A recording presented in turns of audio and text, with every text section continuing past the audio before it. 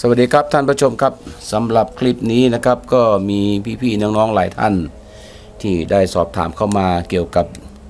ดินแข็งดินกระด้าง ดินเหนียวดินเป็นนุ่นเป็นนี่ และจะต้องปรับปรุงแปลงอย่างไร จะบำรุงดูแล หรือว่าปรุงดินในแปลงอย่างไร คลิปนี้ก็จะมีคำตอบให้พี่น้องเรานะครับ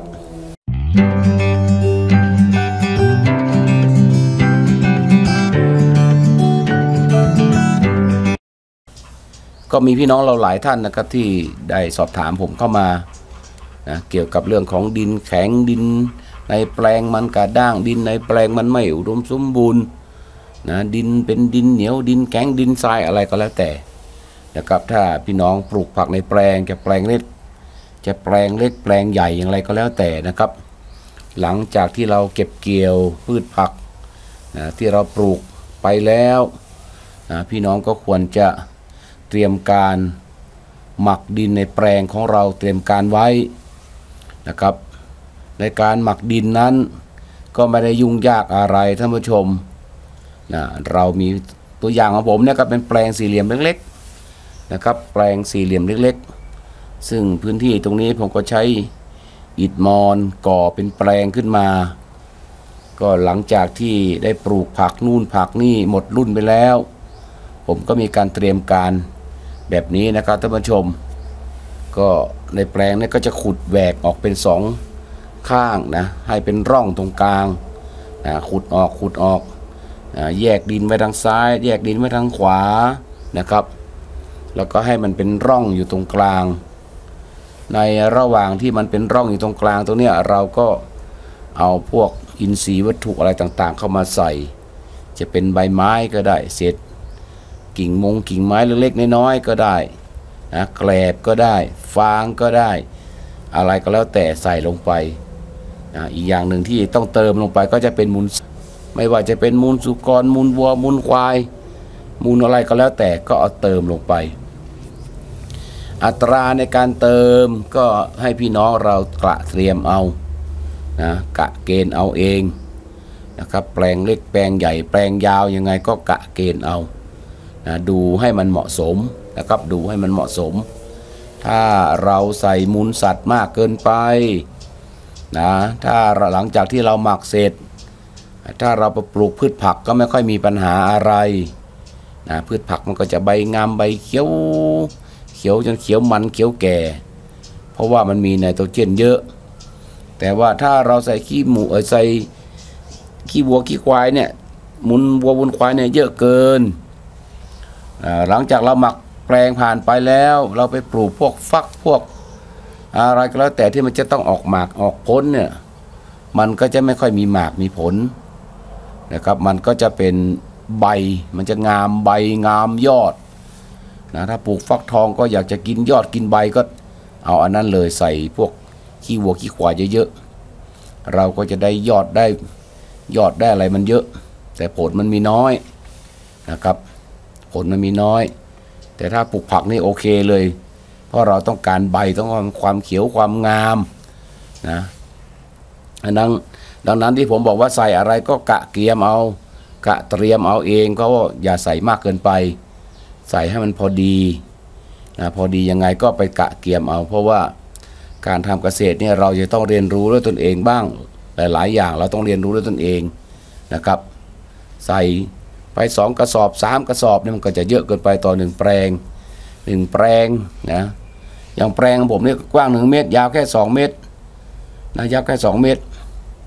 นะครับแต่ผมหมักนานหน่อยหมักเป็นเดือนสองเดือน อันนี้ก็จะใส่ประมาณสักเอ่อเกือบเกือบกระสอบนะก็จะหมักทิ้งไว้นานนิดหนึ่งนะครับ เพราะว่าแปลงเล็กของผมเนี่ยเวลาหมักทีเนี่ยจะปลูกผักไปสองสามรุ่นนะท่านผู้ชม นะปลูกผักไปสองสามรุ่น บางทีได้สี่รุ่นนะถึงจะมาหมักดินอีกครั้งหนึ่ง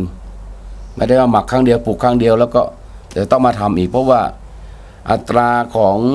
มูลสัตว์ หรืออินทรีย์วัตถุพวกอะไรต่างๆที่ผมใส่ลงไปเนี่ยจะใส่ค่อนข้างเยอะ ผมจะใส่เยอะนิดนึง เพราะว่ากะว่าหมักครั้งหนึ่งเนี่ยจะปลูกผักไปสองสามถึงสี่รุ่นนั่นนะนะครับสามถึงสี่รุ่น นะเพราะว่าผมไม่ได้มักครั้งเดียวจะปลูกผักครั้งเดียว ก็วางแผนปลูกยาวๆนะครับ ทีนี้พี่น้องมีปัญหาในเรื่องของดินมันแข็งดินมันเหนียวดินมันแน่นอะไรต่างๆ เนี่ย ไม่ต้องไปวิตกกังวลอะไรกับท่านผู้ชมนะทำอย่างที่ผมว่านะแปลงของเราก็ขูดแยกด้วยขูดแหวกออกเป็นสองข้าง ให้ตรงกลางมันเป็นร่องแล้วก็หาพวกใบไม้หาพวกฟาง หาพวก ขี้วัวหาแกลบอะไรต่างๆมาใส่ลงไป แล้วก็เอาดินกลบ ดินกลบแล้วก็รดน้ำนะรดน้ำนะครับถ้ามีฟางมีใบไม้แห้งก็มาคลุมข้างบนคลุมเยอะๆหน่อยก็ได้คลุมไว้ข้างบน แล้วก็รดน้ำทุกวันทุกวันทุกวันนั่นแหละ จนกว่าอินทรีย์วัตถุต่างๆ ที่เราไปหมัก มันได้ย่อยสลาย การหมักก็หมักนู่นนะครับท่านผู้ชม ให้มันดีที่สุดนะคือ 2 เดือนนู่นน่ะขึ้นไปนะครับ อะไรต่างๆ ที่เราหมักอยู่ข้างล่างน่ะมันจะได้ย่อย มันจะได้ผุได้พังนะหลังจากผ่านไป2เดือนแล้วเนี่ย เราก็ต้องมาพรวนดินอีกนะพรวนดินมันก็จะเริ่มด้วนซุยมันก็จะเริ่มย่อย เริ่มดี ดินเราก็จะมีอินทรีย์วัตถุ อินทรีย์วัตถุ จะย่อยไม่ย่อยก็อยู่ที่ตัวเราในการดูแลนะครับท่านผู้ชมนะการรดน้ำช่วงที่เราหมักเนี่ย ก็ต้องหมั่นรดน้ำ อย่างน้อยๆสองวันก็รดครั้งหนึ่งสองวันรดครั้งหนึ่งนะรดให้มันชุ่มฉ่ำหรือว่าให้มันซึมเข้าไปข้างล่างเลยนะเพราะว่าในดินที่เราฝังไว้นั่นเราหมักไว้นั่นน่ะมันก็จะได้น้ำด้วยนะครับมันก็จะได้น้ำด้วยไม่ใช่รดแค่บัวสองบัวแล้วก็ไปเลยแล้วก็ มันทำไมไม่ย่อย มันทำไมยังไม่ดีนะครับ การจะหมักอะไรนะมันจะย่อยจะดีไม่ดีจะไวไม่ไว มันอยู่ที่น้ำมันอยู่ที่ความชื้น นะครับมันอยู่ที่น้ำอยู่ที่ความชื้นอย่างเดียว และที่สำคัญที่สุดอยู่ที่เจ้าของมัน อยู่ที่เจ้าของนะถ้าเจ้าของใส่ใจมีเวลาทำอย่างที่ผมว่าเนี่ยปล่อยให้มันดินแข็งจนมาหาแข็งมันก็จะย่อยสลายดินเป็นทรายดินเป็นกรดดินเป็นด่างดินเหนียวอะไรมันก็จะเริ่มผุพังย่อยสลาย เป็นดินดีดินร่วนซุยให้เราได้ใช้ปลูกพืชผัก ดังนั้นใครมีดินประเภทเนี้ยดินแข็งดินดานดิน แห้งดินก้นบ่อดินทรายดินเหนียวอะไรก็แล้วแต่นะมันเอาพวกใบไม้เอาพวกอินทรีย์วัตถุอะไรไปกองไปใส่ไปกองไปใส่ เราจะปลูกตรงไหนก็ไปทำตรงนั้นนะครับ หรือว่าใครมีเยอะก็กองปูพรมไปเลยนะใส่ไปหลายๆครั้งมันหมดรุ่นนี้มันยุบมันเน่าแล้วก็เติมอีกเติมไปอีกนะใครมีขี้วัวขี้ควายมีอะไรก็เอาหวานหวานหวานหวานแล้วก็ ลดน้ำลดน้ำฉีดน้ำมันไปนะไม่นานดินเราตรงนั้นมันก็จะดีขึ้นดีขึ้นดีขึ้นนะครับไม่ใช่ว่าใส่ครั้งเดียวมันจะดีเราต้องใส่หลาย ๆ ครั้งใส่ต่อเนื่องกันไปนะครับใบมงใบไม้อะไรต่างๆ ที่มันมีในบ้านในสวนกวาดกองกวาดกองก็เอาไปใส่แบบนี้ได้ ถ้าเราไม่เอาไปหมักก็เอาไปใส่ดินเลยครับนะไปใส่ที่ดินของเราเลยนะพวกนี้มันเน่ามันย่อยลงไปดินของเราก็จะดีขึ้นดีขึ้นดีขึ้น นะครับ ก็คิดว่าพี่น้องเราก็คงจะพอจะเข้าใจนะครับในเรื่องของการเตรียมดินในแปลงสำหรับคนที่มีแปลงแล้วก็มีปัญหาเรื่องดินแข็งดินเหนียวดิน ด้านดินดานดินทานดินทราย ดินก้นบ่อดิน ที่มันใช้ปลูกอะไรอะไรก็ไม่ได้นะดินลูกลังอะไรพวกเนี้ยดินถมนะถ้าเรามีการหมักมีการทับถมอินทรีย์วัตถุไปเรื่อยๆเนี่ย ดินเหล่านี้มันก็จะดีขึ้นดีขึ้นดีขึ้นนะครับ แต่ว่ามันต้องใช้เวลานิดหนึ่งนะท่านผู้ชมครับไม่ใช่ว่าหมักวันนี้มันจะดีพรุ่งนี้นะต้องใช้เวลานะอย่างน้อยก็ 2 เดือน 3 เดือน 4 เดือน 5 เดือนก็แล้วแต่ละนะเป็นปี 2 ปีก็แล้วแต่อยู่ที่ความเสื่อมโทรมของดินของเรา แล้วก็อยู่ที่พฤติกรรมที่เราจะต้องเอาไปใส่ เอาไปเติม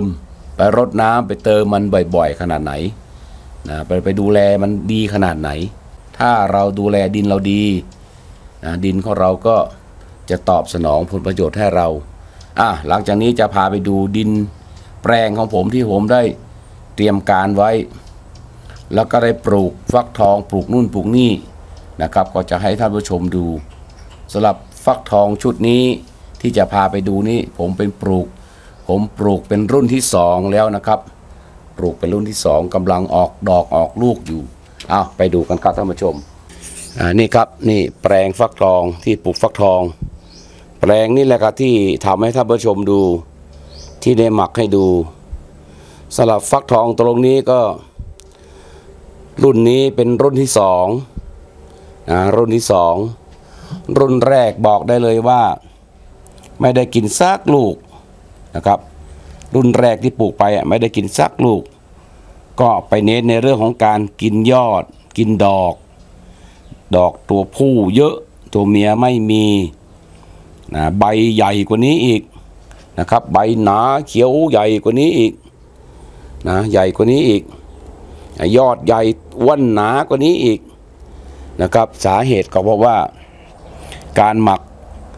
ตอนนั้นใช้ขี้วัวไปหนึ่งกระสอบ นะหมักอย่างเต็มที่เลยนะหมักอย่างเต็มที่ ก็เอาฟักทองใส่ไปชุดแรกก็โหงาม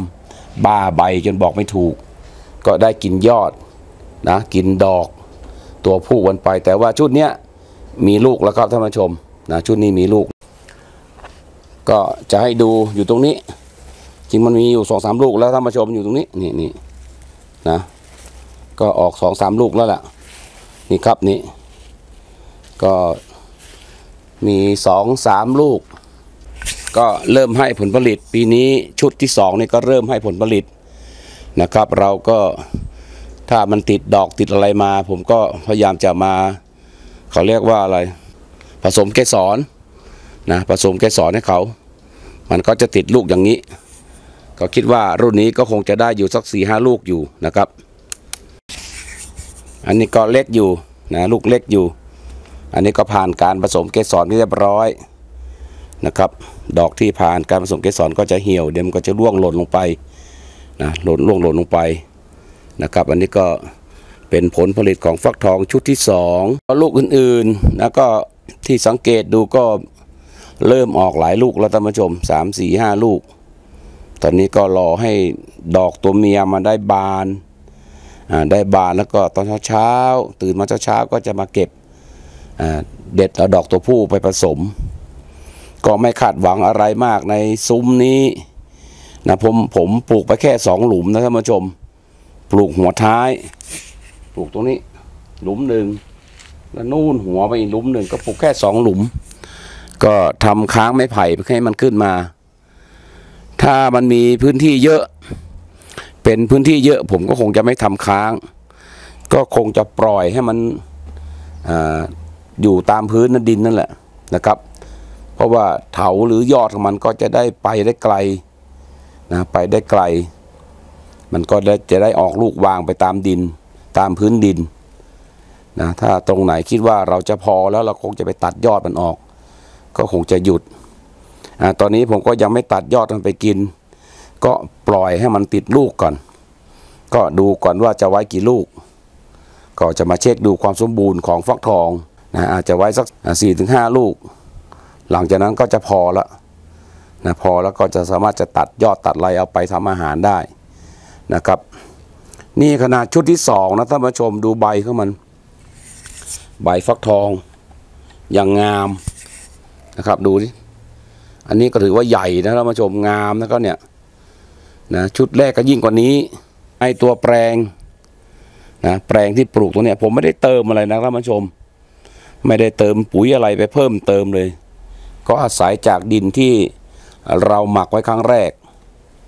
แล้วก็ชุดแรกก็ปลูกฟักทองไปรุ่นที่ละรุ่นแรกนะฟักทองชุดนั้นหมด หมายว่าไม่ได้สักลูกนะมันงามใบมันบ้าใบ ก็มาชุดที่สองนี่เอาฟักทองใส่อีกก็เว้นระยะไปเดือนหนึ่งทิ้งแปลงไว้เฉยๆนั่นแหละไม่ได้ปลูกอะไร แล้วก็มาปลูกฟักทองอีกทีหนึ่งนะครับ เดือนนี้มันเดือนมกราคม ท่านผู้ชมดูฟักทองเดือนมกราคมนะครับ ปกติเขาก็จะปลูกในช่วงหน้าฝน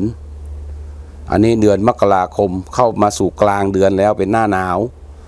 แต่ว่าฟักทองผมงามได้ขนาดนี้ท่านผู้ชม อันนี้เป็นส่วนดี เป็นเรื่องที่ดีในเรื่องของการเตรียมดิน การปรุงดินการเตรียมดินในแปลงไว้ เรามาปลูกอะไรมันก็จะงามอย่างนี้ท่านผู้ชมครับ นะพี่น้องท่านใดมีปัญหาเรื่องดินต่างๆ ที่ผมได้พูดถึงไปแล้ว หรือเรื่องที่พี่น้องได้สอบถามผมเข้ามา ก็ขอให้เตรียมการหรือปรุงดินอย่างที่ผมว่า หรือจะดัดแปลงพลิกแพลงเป็นอย่างอื่นก็ได้นะครับท่านผู้ชมนะพลิกแพลงเป็นอย่างอื่นก็ได้นะสามารถพลิกแพลงได้ทำอย่างไรให้ดินเราสมบูรณ์อุดมสมบูรณ์ สามารถพลิกแพลงได้หมดนะครับ คลิปนี้ก็คงจะไว้ประมาณนี้นะครับพาท่านผู้ชมมาดูวิธีการเตรียมดินในแปลง หมักดิน แล้วก็มาดูถึงพืชผักที่ปลูกเนาะวันนี้ยกตัวอย่างตรงนี้หนึ่งแปลงให้ดูในเรื่องของการปลูกฟักทอง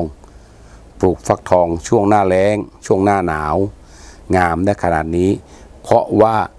ดินของเราดีครับท่านผู้ชมครับ สวัสดีครับ